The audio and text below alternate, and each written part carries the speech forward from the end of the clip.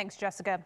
Madison police need your help finding a missing person. Take a look at your screen right now. The department wants you to keep an eye out for the man on your screen, Patrick Zank. They say he suffers from dementia and was last seen walking south on Wall Triana just north of Highway 72.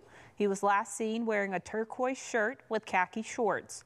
If you see him, the department asks that you give them a call or call 911.